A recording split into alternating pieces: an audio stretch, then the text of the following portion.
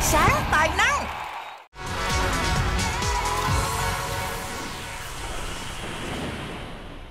Xin chào. Hello. Hello con. Ồ. Hello. Hot boy hot boy hello. Con chào ban giám khảo chào con. con. Đầu tư. Hello Mới- chào con. con mới ngủ thức dậy hả? Sao đầu tóc con bù xù trên vậy? Phong cách người ta. Ờ phong cách con thấy không ngày hôm nay đến đây làm gì Mặc đồ như thế này để cô đoán nhá Con sẽ hát một bài hát về dân tộc miền núi đúng không?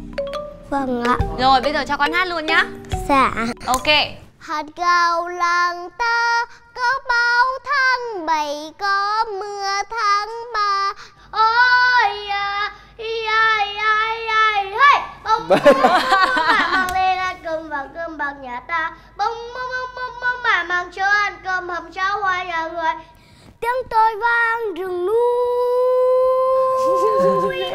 Sao không ai trả lời? Nhắn tin theo cùng gió. Căn con đời đợi người Thôi ăn bữa cơm. Rồi.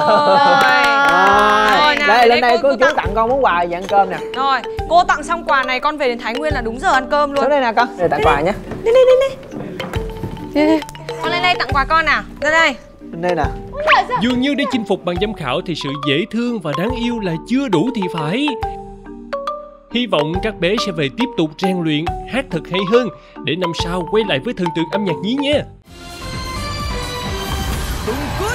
Dasha, partner!